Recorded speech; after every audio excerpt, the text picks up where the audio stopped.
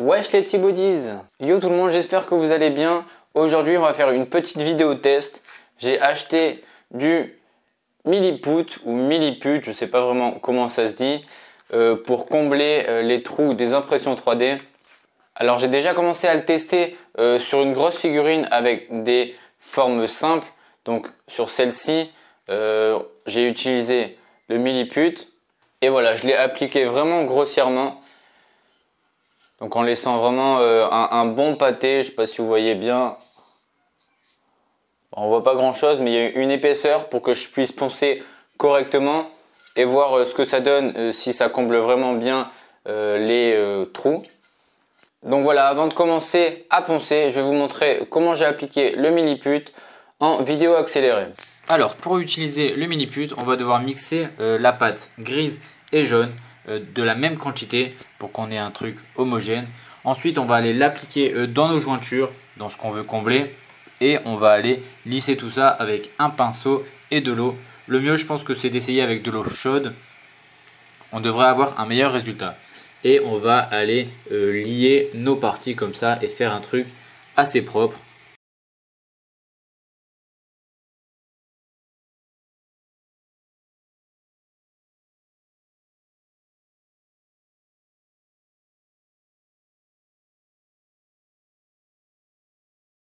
Et maintenant, place au ponçage.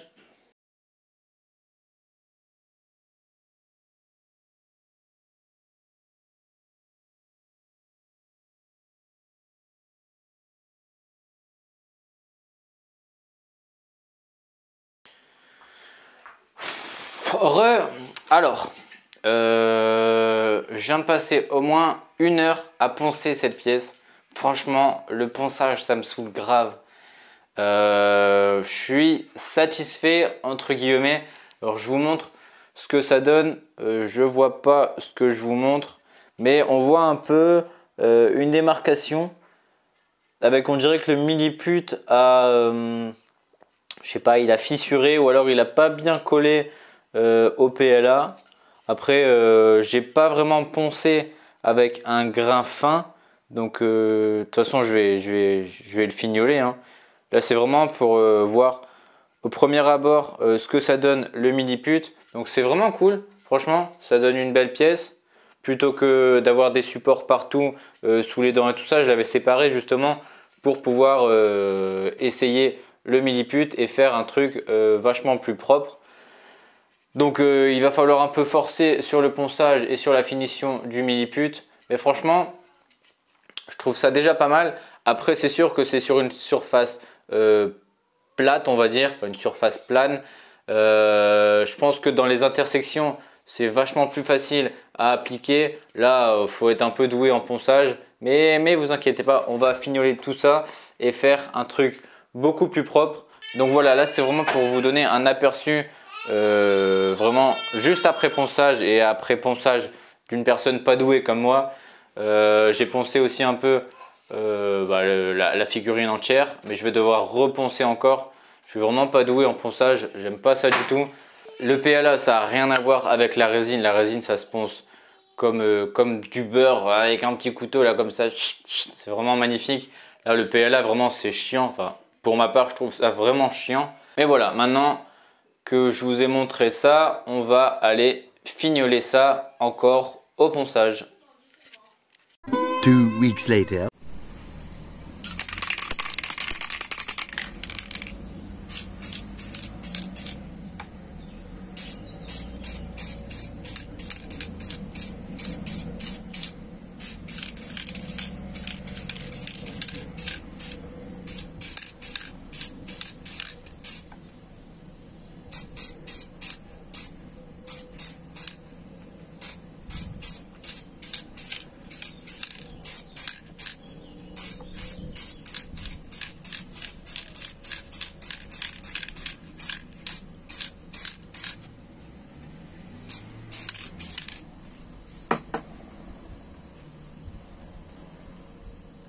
Bon, re tout le monde. Alors, ça y est, le petit euh, smiley est terminé.